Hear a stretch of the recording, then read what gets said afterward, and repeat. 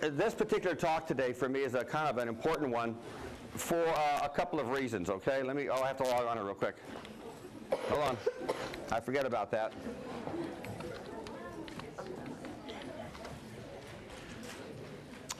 And the reason it's important is because when I, when I thought about giving a talk, this is one that really relates to many of us in this room today, because Robert Kennedy made several trips out to California in his campaign. And he rides a train all the way from Sacramento, Merced, Stockton through Fresno as he goes on his way to Los Angeles. Uh, and he's in the midst of an incredible, incredible campaign. It's only going to last 82 days. Uh, but he'll have a tremendous impact here in the Valley and in California. And we're going to call it the last campaign because probably in the past 40 or 50 years, America has not seen such a campaign that he waged. And why he came to wage it and how he came to wage it and what happens to him at the end of those 82 days uh, was pretty important, okay?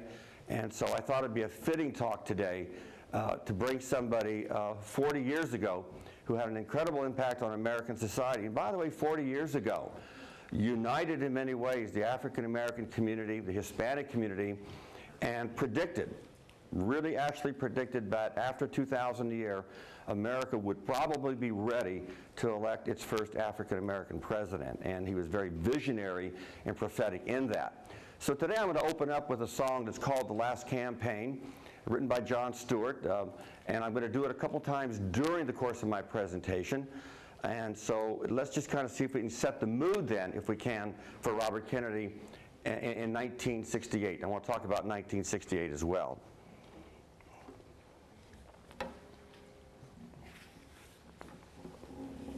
And since I didn't get to play at the 60s concert, so, so, so we'll do this. You were waiting for me to do that. I know you were waiting for me to do that.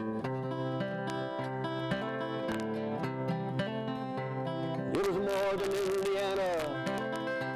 It was more than South Dakota. It was more than Oregon. It was more than California. It Truly the sun. Truly I believe that it was the last campaign.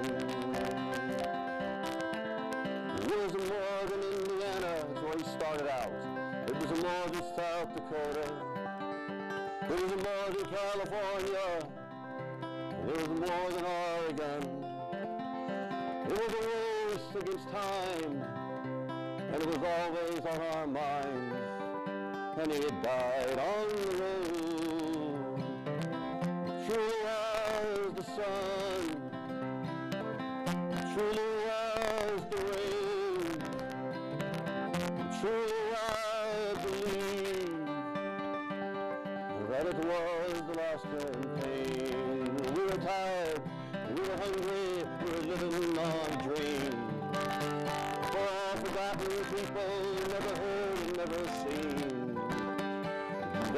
There would a time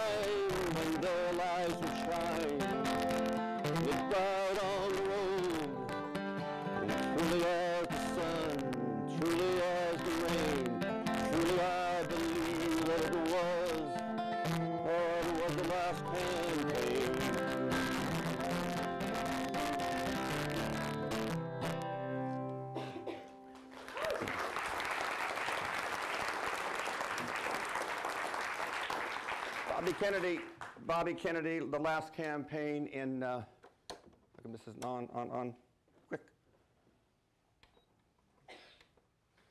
Hopefully it's going to go on. There we go. Exceed your vision.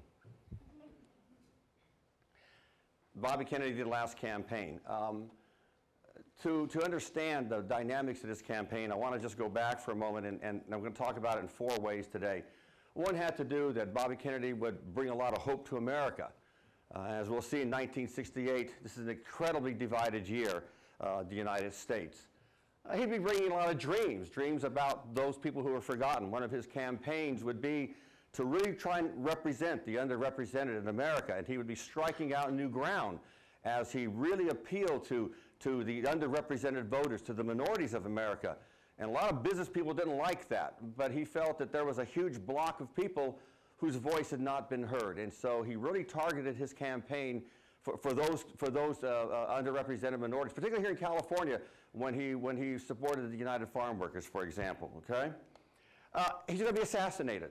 Uh, his life will end tragically in, in, a, in, in, a, in a small room at the Ambassador Hotel. It's one of those, those interesting things of fate where he always sort of went to the left side of the room, but for some reason he chose to go to the right side of the room, and there he'll, he'll die at the hand of an assassin or assassins, because the last part of this has to do with the fact that there's considerable controversy about the shooting of, of Robert Kennedy, RFK. And, and 40 years later, uh, police, uh, forensic scientists, and, and people who study voices and gunshot wounds, there's been all kinds of confusion about how many times was he actually wounded, where was he wounded, and so today we're still trying to decide, did Sirhan Sirhan actually shoot and kill Robert Kennedy? He's currently been incarcerated at Corcoran Prison know, all these years. Or was it, in fact, somebody else who was also in the room, one or two other people? And that's not really been resolved uh, to this day. So in the end, his campaign ends tragically, but again, even though it seemed like Sirhan had shot him, uh, nobody can really say for certain that that had happened, okay? So that's the issue. What was America like in 1968? Uh, we've had this theme this year of, of, the, of the 60s again, and, and, and we need to emphasize that America was, was simply, in many ways, falling apart uh, if we look at it. If we want to look at it in that standpoint. Let me get that slide up here. Uh, the U.S. seemed to be unraveling. We had the Vietnam War. Uh, we've had the introduction of the drug culture thanks to movies like Easy Rider. We had huge movements in black power with Huey Newton and the Black Panthers and Stokely Carmichael, who, who were distancing themselves considerably from white America and criticizing white America. And not only criticizing white America, but criticizing African Americans like Dr. King, who, who, who, they felt were puppets of white America in many ways. And, and so, so even within the African American community, there was a tremendous amount of anger and hostility leveled not only at, at African Americans, but at whites. And, and so everything seemed to be bubbling over. Uh, the rise of feminism was, was on, on, on the move in the 1960s. And again, uh, as women were, were now trying to secure their rights, a lot of civil unrest with riots and, and, and protests and marches uh, that seemed to be happening in every city. And, and then there was the anti-war movement that simply fractured American society, fractured families, fractured friends, uh, sent young men to Canada, it caused all kinds of internal problems at home, draft dodgers, et cetera. And, and so America was just, was simply, one, we were wondering what's happening next. And, and Lyndon Johnson was the president at that time, and by all, by all means, he should have been the president who would have sought reelection. But in the streets, the, the protesters were calling him baby killer. And African Americans were moving away from supporting him. Hispanics were not paying any attention to him. His own white middle class base was becoming very frustrated with, with the war in Vietnam. We couldn't seem to be ending that war. And ultimately, because of all the pressures and everything that was happening to him, out of the, out of the blue, he decided unexpectedly, unexpectedly to not seek reelection in 1968. And, and so I use the, the, the, the, metaphor here of the, of the thunder and the lightning because that's what it really was. All of a sudden, uh, America didn't know what to do. The Democrats had no leader. There was nobody in contention for the, for the actual nomination, and so he was simply walking away. And I would liken it today by, by suggesting that if President Obama, in a couple of months, suddenly said, I'm not running for president, I've decided not to seek reelection, it would be something similar in terms of magnitude. How, how would the country face that? What would they do? Okay? So he was dealing with that. So again, the U.S. seems to be unraveling. We have all these issues. And then, and then on March 31st, Johnson announced he wouldn't seek reelection, and that simply was like a thunderstorm hitting the political arena.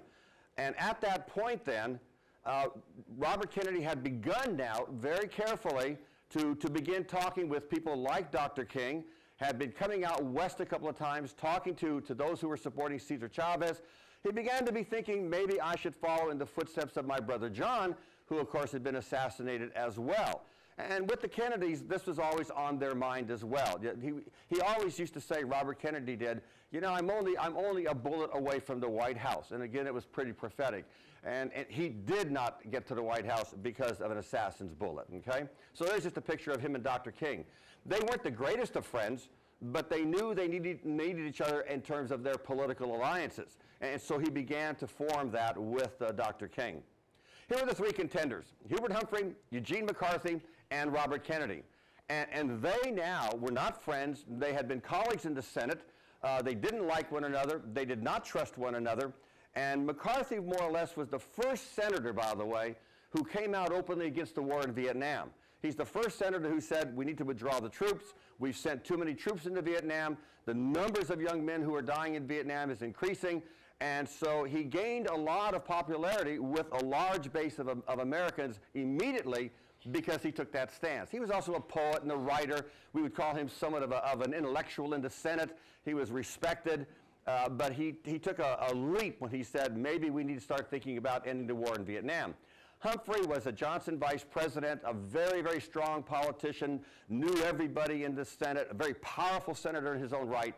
And, then the third, the third candidate to be would be Robert Kennedy, again of the Kennedy family, the Kennedy dynasty. His brother had been president. He had served as attorney general. And he had some problems because as attorney general, he actually ordered the wiretapping of Dr. King.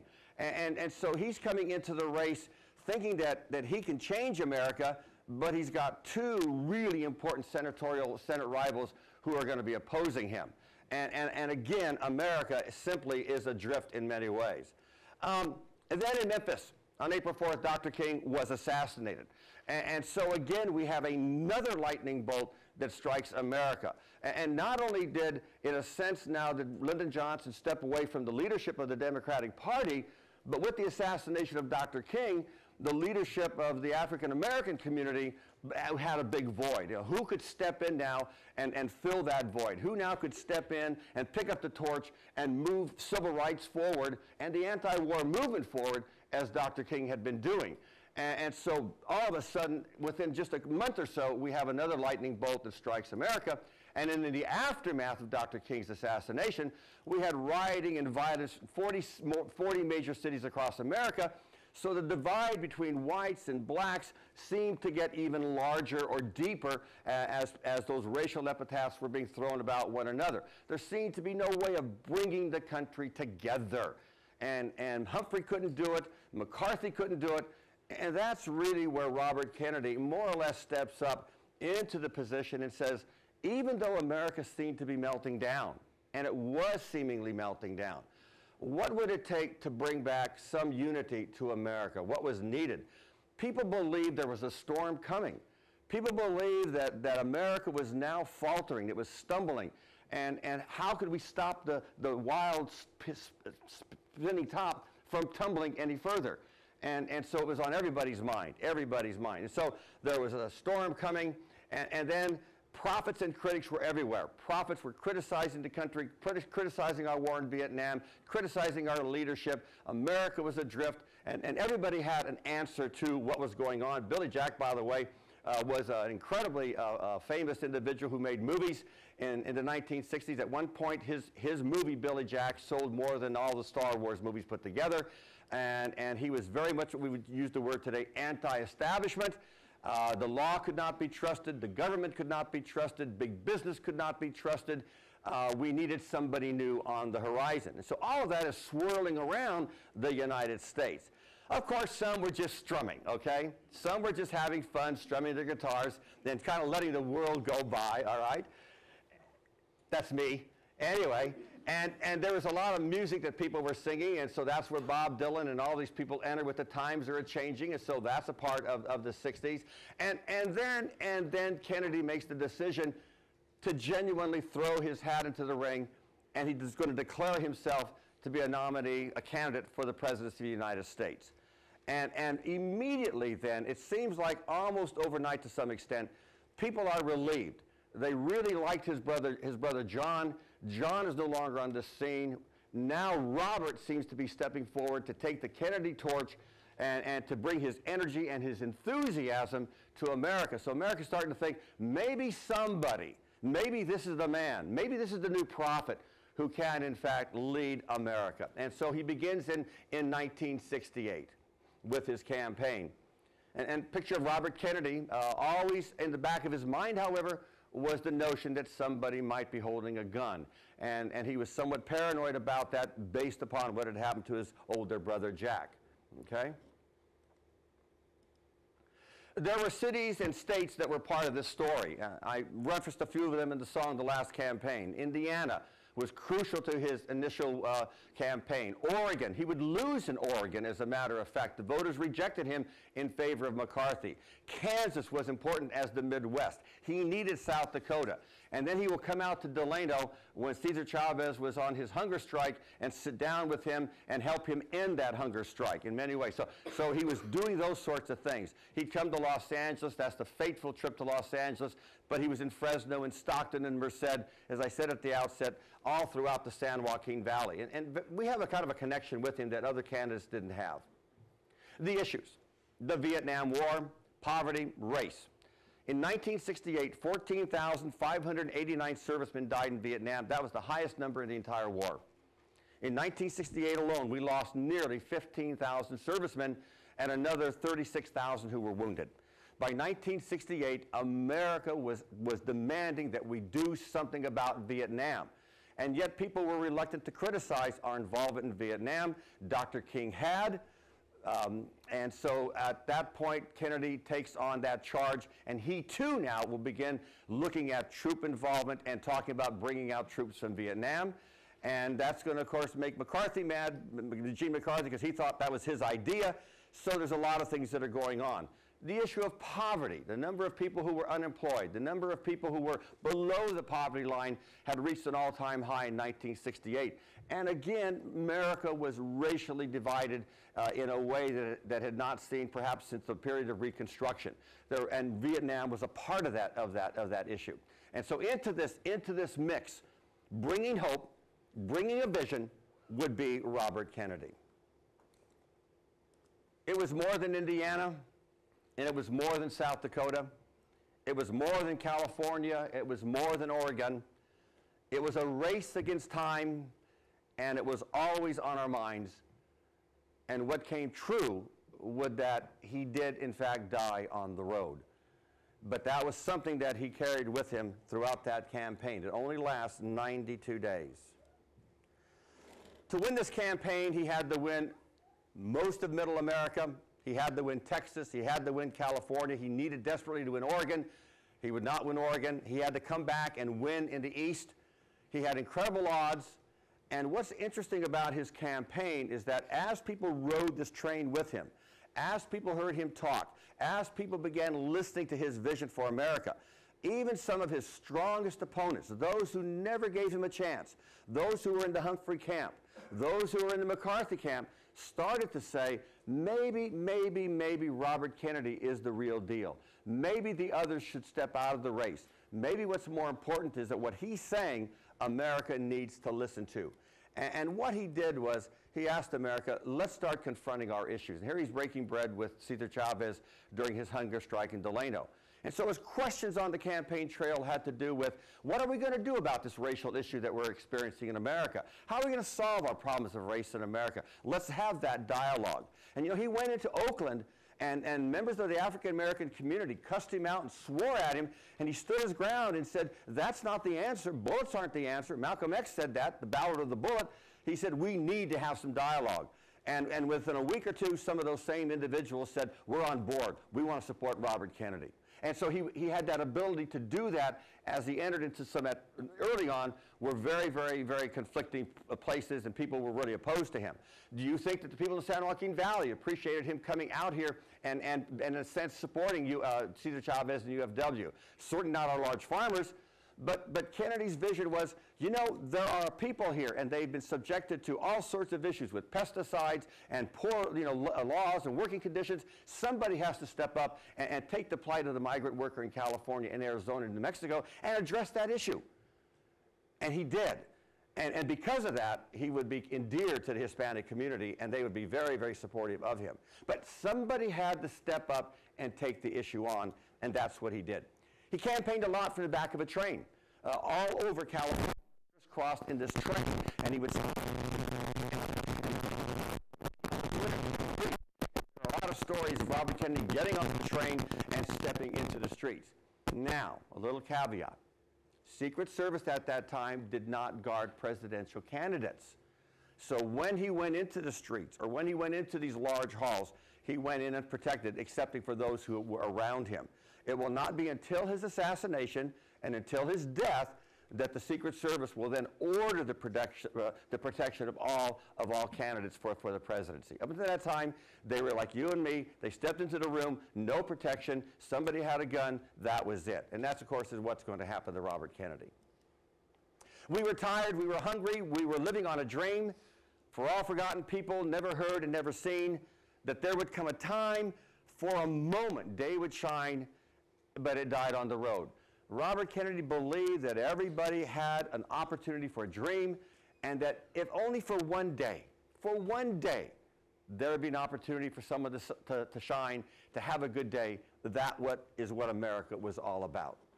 And so he would speak on that. Joined the next president, Bobby Kennedy, at a victory party. He had an incredibly tough race following his defeat in Oregon.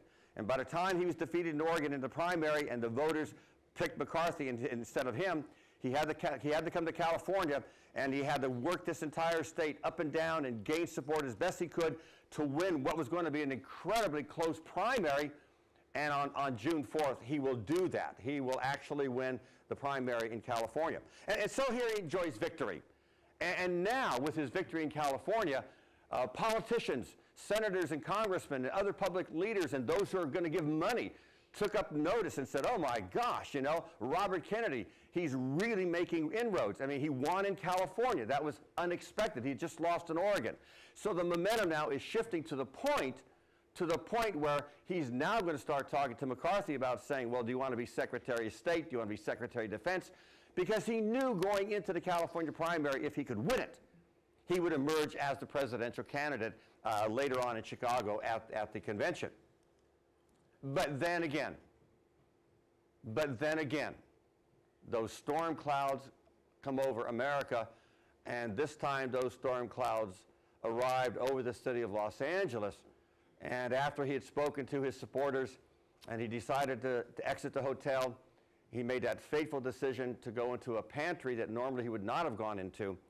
And, and there he would be met by an assassin or an assassin's bullet, and he would be shot in the brain, reportedly with a small 22 caliber bullet by Sirhan Sirhan. And that's where it begins to become very, very murky because in reality, after the coroner would examine him, he had bullet wounds in his back and his arms. In reality, Sirhan's gun only had eight shots, and there's a total of 19 bullets in the room where he shot.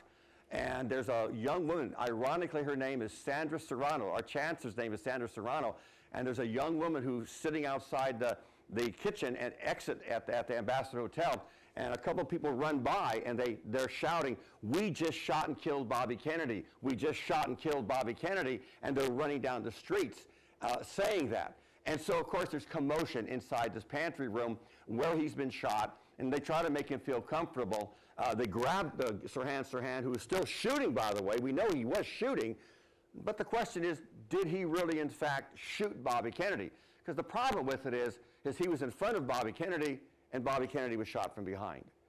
And, and, so there's this constant controversy as to where do those bullets actually come from in this particular assassination. Bobby Kennedy shot, there's a number of photos, and I don't like to show those photos, but there were a number of photos immediately on the wire services showing him lying in his pool of blood in, in the pantry floor in the Ambassador Hotel. And, and because Sirhan had a gun, all the evidence pointed immediately to him that he had been the assassin. And he was a young Palestinian uh, named Sirhan Sirhan. Later on, he would claim that he had been hypnotized. He claimed that he never knew what he did. Uh, he would be summarily tried, uh, convicted, sentenced to life imprisonment, where he's been in Corcoran, Corcoran prison ever since and, and doesn't talk to anybody. And, and recently, there have been cases trying to, to reopen his case, and it's not met with anything. What about Bobby Kennedy? 82 days of inspiration in, and inspiring America. It was an incredible campaign. When Bobby Kennedy's body was removed to New York, that was his home state, he would then be taken to Washington, D.C., where he'll rest at the, uh, the Rotunda, and then from there he's going to be buried in Arlington National Cemetery. And the incredible thing about that train is that even though we've had great presidents, Lincoln, Franklin Delano Roosevelt, among others, none of the crowds that lined those, those rails ever equaled the crowds that lined Robert Kennedy's funeral train. It was 21 cars.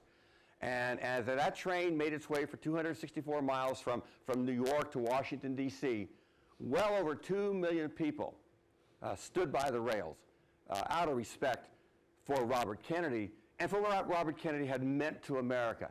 And America never experienced that with such an individual who, by the way, had not been a presidential candidate. He had not gotten the candidacy. He was shot before he could be claimed to be the nominee, named the nominee. He, had a, he was a very simple man. He was a very devout Catholic. He was a very devout family man, and he wanted a very simple service. He had these premonitions, and so some of that work had been done, and he had done that. And so at Arlington, he has a very, very simple uh, service from just family members. And unlike other famous people that have huge monuments to them, just away from this cross, this is the white cross that's his grave, his, his, brother John Kennedy has an incredible monument with the eternal flame and all of his famous words that he said while he was president and campaigning. And yet, when you come into Arlington National Cemetery, the single white cross that simply says Robert F. Kennedy on it uh, is a testament to, to who he was as a person in many ways. Nothing grandiose, nothing grandeur. It was just a simple, simple cross. Bobby Kennedy, the hope and the tragedy, and it was a hope and a tragedy in 1968. After his assassination, Americans realized that he had been this hope. There was somebody who had a power to heal some of our differences. And in a split second, that was taken away. The coroner, by the way, who examined his brain wound, said that it was less than a centimeter. And, and, and, and, in other words, it was just a fraction of a hair. If the bullet had been just a fraction of a hair, hair off and gone in a different direction, he probably would have survived enough to have continued the campaign. But he didn't. And, and so it turned to be at least a fatal wound or fatal wounds. Part four controversy. Who shot Robert Kennedy? Well, all the evidence immediately pointed to Sirhan Sirhan.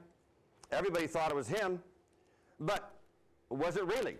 And the police cannot definitive, definitively say it was because the guns really didn't match all the bullets in Robert Kennedy's body.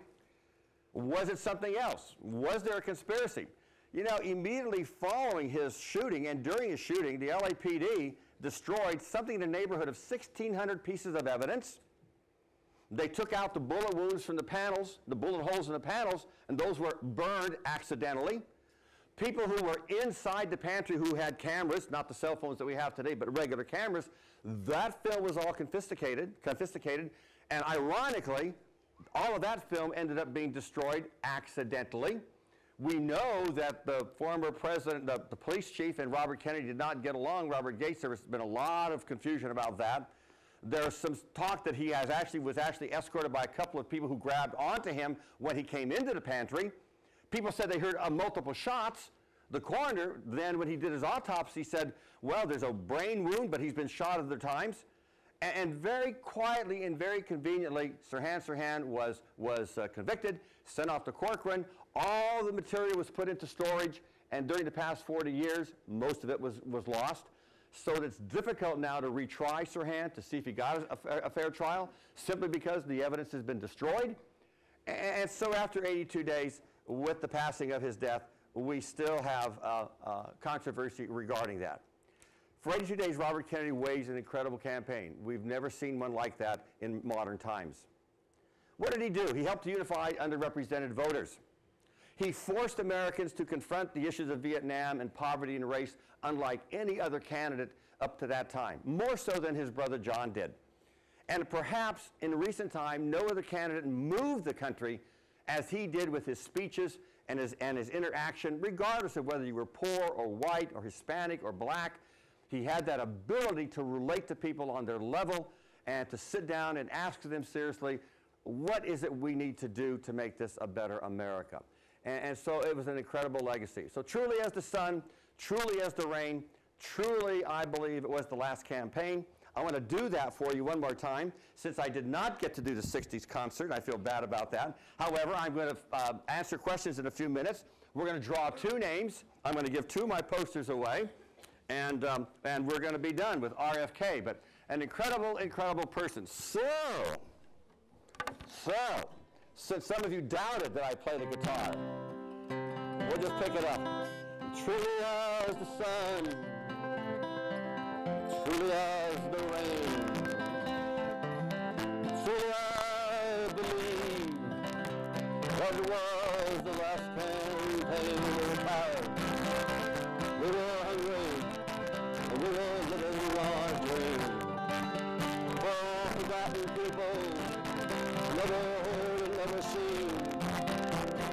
Time when shine. I believe this was the last campaign. I believe this was the last campaign.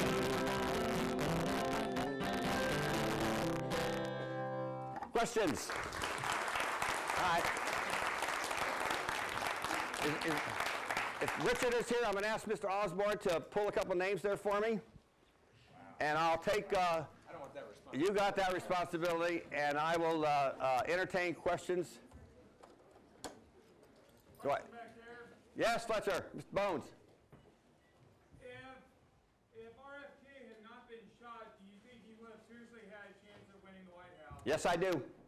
His, his opponent would have been Richard Nixon, and actually the, the disarray of the Democratic Party with Johnson not seeking to seek reelection, with Kennedy being shot, uh, it really gave the election to, to Richard Nixon. I think, I think uh, he would have uh, he would have debated him, and the, probably the result would have been, as John had debated him in 1960, he would have uh, he would have done quite well. All indications was that he was gaining tremendous momentum, and America was beginning to believe and follow in him. So I think, you know, it's one of those if questions, Bones, but, but I think it would have been a tremendous campaign nonetheless. Good question. Somebody else? Yes? Denise? Um, why would the LAPD want to cover up his assassination? Do you think they were- they were involved somehow? Well, the speculation is, is that the LA police was in fact involved. There's, there have been two or three books about, about it, and there was a lot of animosity. Uh, Robert Kennedy supported people in some areas that the police were not supportive of. There were personal, personal rivalries between him and the police chief and other elected officials in LA. Um, you know, it's speculation, but nonetheless, there's, there's, there's some evidence to, that, that they were somehow involved, at least in the cover-up or in the treatment, you know, they mistreated the information. You know, we never have the answer, and, and I don't know if we'll ever have the answer. We're still, we're still trying to figure out why Lincoln was assassinated, right? But, but the issue for us really is that it's not as clear a picture anymore that Sirhan Sirhan was, in fact, the sole assassin. And that's, that's what people are, are asking. And a couple of years ago, he was up for parole. He's been denied parole every year. And they've tried to reopen the case. They're now going to try to reopen the case again at the appellate level in California to get it all the way to Supreme Court. So some, some, some people believe that Sirhan Sirhan uh, might have had a part in it, but not totally. And the police was involved. Yes? Um, I would like your opinion and Mr. Osborne's opinion. If we had not lost Dr. King and Robert Kennedy, would we have saved the lives of 40,000 plus more people in Vietnam? Well, the total number in Vietnam was 57,496. And yes, uh, we would have, I'm, I'm, Mr. Richard answer that as well.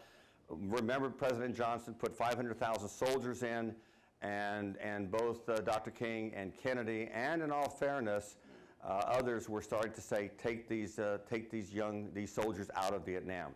Uh, and we didn't. Um, again, I'm going to remind everybody, Robert McNamara was Secretary of Defense. And six years ago, before he died, he wrote a book. He was the one who supported soldiers in Vietnam. And in his book, he said, we would have saved a lot more lives. Uh, he kind of made an apology to America. Uh, we, made a, we made a very bad mistake. That was, that was the end of his book. Rich, you want to continue that question? No, I think, I think you, I feel about the same. Okay. Okay. okay. Other questions? Yes? Do you think that Dr. King and Robert Kennedy were still alive and won the elections that they did, um, that our civil rights would be a lot farther than they are right now instead of just barely being able to accept having a black president? I, think I think so. I, you know, it, it's always difficult because both their lives were ended tragically, And, but yes, I, I think they would have, had they lived, they would have been very much powerful forces. Um, and I think the proof of that, as I said earlier, when Dr. King was assassinated, um, there, th- uh, there was a vacuum, and who could, who could step in? And similarly with Robert Kennedy, once he was assassinated, who then became the voice of, of the underrepresented in many ways in America. And had they survived, I think they would have, they would have, they would have healed a lot of wounds. They were on that path. Uh, it's just that a bullet uh, took their lives. Yes. Yes. Um, is there any relation between the people, the, um, people that assassinated Dr. King, Robert Kennedy, and John Kennedy? Is there any relationship between their attitude and their mental state that anybody knows of? Well, there's, if, if you, you have to look at each one individually. And if we looked at, if we looked at John Kennedy, for example, there's still a lot of controversy, uh, and we've not solved his particular assassination. What- Lee Harvey Oswald, again, was the accused, uh, but when we look at diaries and we look at old, you know, files that have been released, you know, there's, there's a question mark about him and why, why that was done. When we look at Dr. King, we know that, that then uh, um, Hoover, who was in charge of the FBI, J. Edgar Hoover, uh, kept a dossier on him. Uh, you know, everything that he did, every moment of his waking life. Uh, there's probably some speculation that, that they knew about that and they knew more than the public ever knew. And the same, I suspect, with Robert Kennedy. You know, we don't like to share that kind of laundry in, uh, with ourselves and with the rest of the world. We, we tend to cover it up, and we do a good job. One more? Yes. What do you think that uh, Cesar Chavez wasn't assassinated while um, Kennedy and Dr. King did, and they, they all have about the same influence in the underrepresented people? You mean, w- w- Cesar Chavez wasn't assassinated? Well, you know, uh, he, fortunately for him, he wasn't. Uh, I mean, fortunately for him, he, and for, for the UFW, he wasn't. Uh, I would suspect, though, that in, in, in, for those who supported Cesar Chavez and, and who worked with him, I, I suspect that it was at some point on, on their minds as well, uh, that his life was, uh, was in danger at some point and probably always had been in danger. Uh, he was a leader who was going against the tide of, uh, of many Americans. And um, we tend to treat some of those people sometimes by, by simply um, assassinating them uh, for, for rightly, you know, and that's what we do. And, and that has happened. But no, he survived. And so he was fortunate in surviving. He didn't face an assassin's bullet. One more question. Yes. Another Ed question here. If Robert Kennedy had won presidency and not been assassinated, do you think he would have been able to run a presidency that people could not ask questions like, well, that's because he's Catholic? No, no, and, and, and let's, let me, let me see if I can turn that a little bit. Remember when his brother John ran, everybody needs to remember this, that one of the criticisms that came out against John Kennedy was that he was in fact a Catholic. Uh, for those who are, who are Mormon, the, uh, the presidential candidate, if Mitt Romney decides to run, there's a number of articles about, about his faith somehow interfering, you know, with his nomination. John Kennedy had to deal with that issue first. And John Kennedy spoke, by the way, with, to a lot of college crowds, and, that question was asked of him in college crowds. College students said to John Kennedy, hey, by the way, you're Catholic. Are you going to be listening to the voters or, or the Pope? And at some point, John Kennedy said to most of America, you know what? I'm Catholic, that's my faith, but others are Lutheran, others are Protestant, others are Baptist, and, and I'm no different. I, I have my faith, and that influence wouldn't be there. So, in many ways, he broke the ground. He broke the ground for people like Robert Kennedy, whose, whose, whose Catholicism by 1968 was accepted. It didn't make a difference in the campaign whether he was accepted or not. It did for his brother John big time, but not, not when he decided to run. It didn't make a difference. And America has to get over that too. We've not had a Jewish president. And so, so I mean, again, if faith becomes an issue, then you have to look at is, is the faith the determinant why you're not voting, or is it what that individual stands for? And John Kennedy met that issue head on.